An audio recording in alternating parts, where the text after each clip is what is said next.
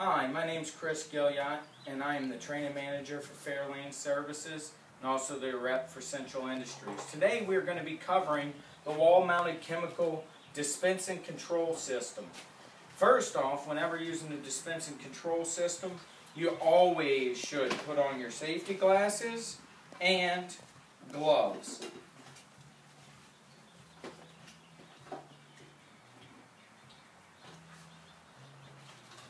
Today, we will be covering how to use the dispenser control system.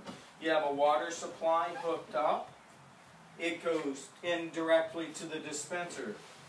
Whenever you want plain water, you have no chemical in there, you make sure your water is on, cold water preferably. When you want to fill up your bucket with just plain water, press the button and you can get water directly into your bucket.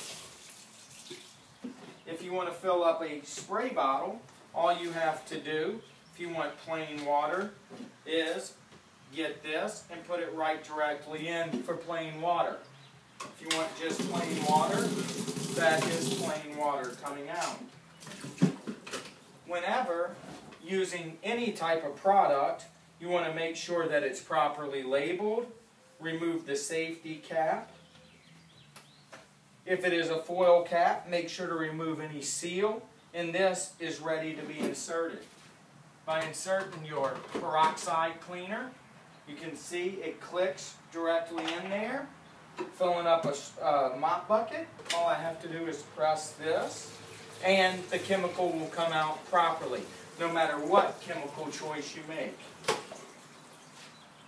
To release, press the button on the side by wanting to get a spray bottle, all I have to do is make sure that any chemical I use, whether it be peroxide cleaner or glass cleaner, I want to make sure I have the proper label on the bottle, insert into the bottle side, press the button, and it will fill from the bottom. To create no foam so you can fill the bottle directly to the top,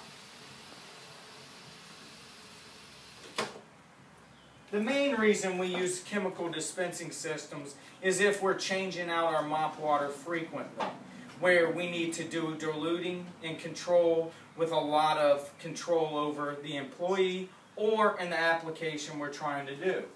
These are always measured at the proper dilution, so there is no reason to open a bottle and pour it into the mop bucket.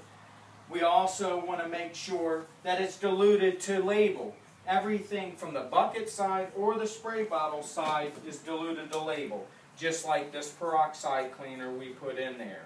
We then insert our spray nozzle. And now we're ready for work.